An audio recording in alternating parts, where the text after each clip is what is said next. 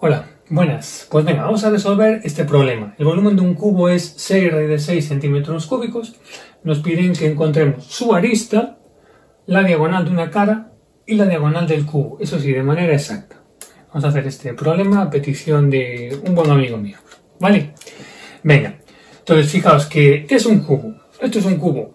¿Vale? No es más que un, un prisma sencillito, un prisma sencillito, formado por cuadrados, que es lo, la ventaja que tiene, ¿vale? Bien, entonces, su arista lo que nos están pidiendo es cada uno de los lados, ¿vale? ¿Cuánto mide cada uno de los lados en este caso? Fijaos que en este caso todos los lados son iguales, ¿vale? Entonces, si nosotros pintamos el cubo, vamos a intentar pintar el cubo, por ejemplo, de una manera sencilla, el típico cubo que todos más o menos eh, sabemos pues, pintar, ¿no? Una cosa así, más o menos, ¿no? Vale. Fijaos que en nuestro caso, pues claro, todas las aristas pues van a valer A, que nosotros desconocemos, por ejemplo, ¿no? A, A, A, A. Vale. Bien. Si me dan el volumen, ¿cuál es el volumen de un cubo? Bueno, pues el volumen de un cubo, fijaos que el volumen de, de, cualquier prisma es área de la base por la altura. ¿El área de la base qué es? Es A por A. Entonces será al cuadrado. ¿Y la altura qué es? Es a. Por lo tanto, es a elevado a q. ¿Vale? Cual es muy sencillo porque todos los lados son iguales. Entonces sería área de la base por la altura. A por A por A. En caso de que todos sean iguales, como es nuestro caso, pues es A por A por A, es A elevado a Q. Este es el volumen de un cubo. ¿Vale? Es muy sencillo. Es el volumen de un cubo porque todos son cuadrados. ¿Vale? Área de la base por la altura. Entonces si el volumen del cubo es A es a elevado a 3 y resulta que es efectivamente igual a 6 raíz de 6, ¿no?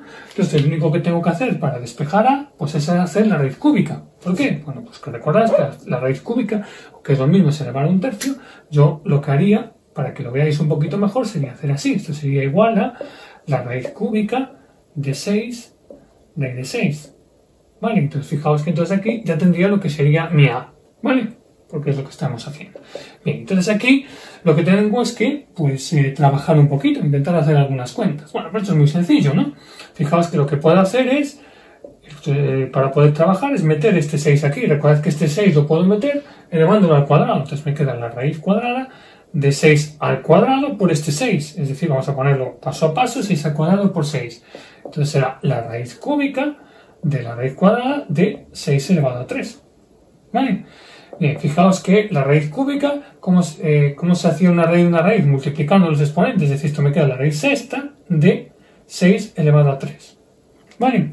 La raíz sexta de 6 elevado a 3. Bueno, fijaos que es sencillito, puesto que esto aquí todavía se puede simplificar un poco más.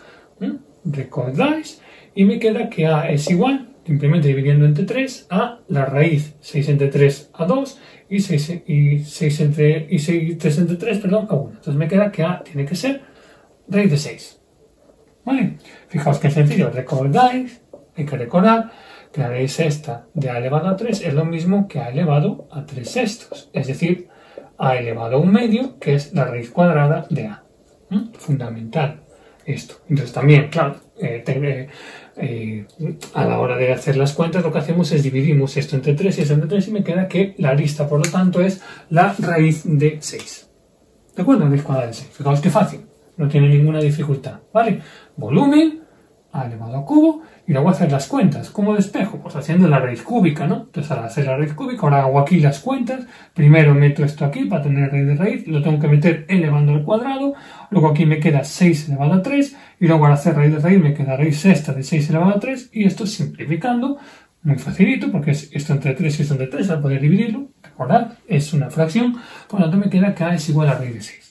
Y por lo tanto, ya, ya, tengo la respuesta a la primera de las preguntas, que es cuánto mide su arista, que es la raíz cuadrada de 6. ¿Vale? Bien. Vamos a ver, más cosas. Diagonal de una cara. Venga, vamos a ver. Bien. Vamos a coger otra vez mi dibujo. Bueno, fijaos que la diagonal de una cara es una cara de estas y su diagonal. ¿Vale? Es la diagonal de una cara. Muy sencillo. Fijaos que si nosotros lo dibujamos aquí, vamos a dibujarlo aquí para verlo con calma. Si yo lo dibujo aquí, lo que tengo es una cara, todas las caras son cuadraditos de lado A y lo que me están pidiendo es esta diagonal. simplemente. ¿Vale? Entonces, la diagonal de una cara, vamos a llamarle D. Bueno, fijaos que aquí tenemos un triángulo rectángulo, ¿vale? Un triángulo rectángulo. Con lo cual simplemente tengo que aplicar Pitágoras y al aplicar Pitágoras tengo que la diagonal, que sería la hipotenusa, sería la raíz cuadrada de a al cuadrado más a al cuadrado, que es este cateto al cuadrado más este cateto al cuadrado. ¿Vale? Pues es que es el mismo. Fijaos que entonces la diagonal es la raíz cuadrada de, como es lo mismo, es de dos veces a al cuadrado, porque tengo la misma, es a al cuadrado más a al cuadrado. Son dos veces a al cuadrado. ¿Vale? Muy bien. Pero bueno, sabemos cuánto valen estas cosas, ¿no? Porque la arista la hemos calculado antes. Bueno, pues vamos a ver. La diagonal será dos veces y resulta que A vale eh, raíz de 6, es decir, que A al cuadrado vale 6. Por tanto, me queda 2 por 6. ¿Vale? Porque A es a es raíz de 6, por lo tanto a al cuadrado es esto al cuadrado, si queréis, la raíz de 6 al cuadrado, por lo tanto a vale 6. ¿Vale? Con lo cual me queda que la diagonal es la raíz cuadrada de 12. ¿Vale?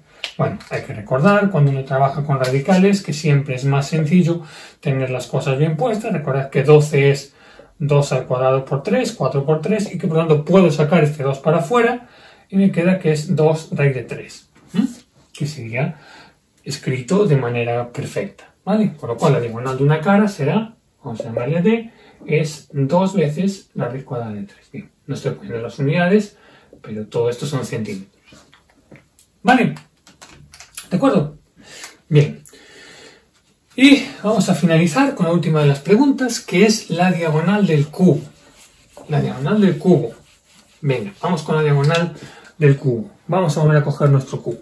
Bien, la diagonal del cubo, fijaos que es la diagonal que se forma cuando vosotros hacéis de aquí a acá y luego de aquí a acá. ¿Vale? Es decir, la diagonal interior, que es la que va de aquí a aquí. ¿Vale? Es un poquito diferente a, de lo que estamos nosotros acostumbrados. Es la diagonal interior, la que va de aquí a aquí y luego, evidentemente. ¿Vale? Esta de aquí, interior. Entonces, la interior, ¿dónde, ¿dónde se dibuja esto? Bueno, fijaos que si vosotros dibujáis esto, la diagonal sería esta de aquí. Esta sería la diagonal. ¿Vale?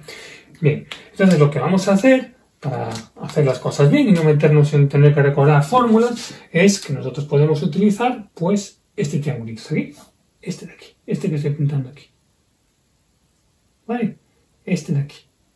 En donde este es la diagonal, vamos a llamarle con D mayúscula, ¿no? La diagonal del eh, cubo que me están pidiendo. ¿Vale? Vamos a verlo aquí como hicimos antes. Vamos a pasar este triangulillo aquí. Fijaos claramente es un triángulo rectángulo, por supuesto. Esto es la diagonal, que yo no tengo ni idea de lo que vale. ¿Cuánto mide este lado? Este lado sí que lo conozco. Es una arista. Fijaos, es una arista. Le he pintado sobre el negro. Esto es una arista. ¿Y cuánto mide este otro lado? Este otro lado, fijaos que es la diagonal de la base, es decir, es la diagonal de uno de los lados. Es lo que yo he llamado antes como una D pequeña. ¿Vale? Es esta de aquí, lo que nos mandaron calcular antes. ¿De acuerdo? Muy bien. Pues bueno, ya solo me queda hacer aquí unas pequeñas cuentas, ¿vale? Venga, volvemos a aplicar Pitágoras y nos damos cuenta que la diagonal, por lo tanto, es la raíz cuadrada de una arista al cuadrado más la otra diagonal al cuadrado. ¿Vale? Venga, vamos a ir cambiando ya las cosas por sus valores. Muy bien. ¿Al cuadrado cuánto vale? Bueno, al cuadrado fijaos que vale 6, exactamente igual que antes. Más. ¿Y cuánto vale de cuadrado? De cuadrado es esta de aquí. Si, si d es 2 de 3 y yo lo tengo que elevar al cuadrado, tengo que elevar todo esto al cuadrado. Fijaos que esto me va a quedar 4 por eh, la raíz de 3 al cuadrado, que vuelve a ser 3. Vamos a ponerlo así otra vez para que lo veáis bien, que no se nos pase. Entonces es 4 por 3, entonces me queda que es 12. Con lo cual me queda 6 más 12. Es decir, que la diagonal es la raíz de 18. ¿Vale? Es la raíz de 18. Una vez más, esto hay que ponerlo bien. Fijaos que 18 son 2 por 3 al cuadrado, son 9 por 2. Volvemos a sacar el 3 para afuera y me queda que es 3 veces la raíz de 2. 3 veces raíz de 2. Y este es el resultado que me pide. Con lo cual, la diagonal del cubo, o sea, la de grande, es 3 raíz de 2 centímetros. Y estas son las soluciones a las tres preguntas que nos pedían. ¿De acuerdo? Repito que simplemente es mirar eh, cómo está el, cómo se forma el, cubito y Muy sencillo, utilizar Pitágoras teniendo en cuenta que no es lo mismo la diagonal de la cara a lo que sería la diagonal del cubo. ¿Vale? Bueno, a ver si espero que lo hayáis entendido un poquito mejor.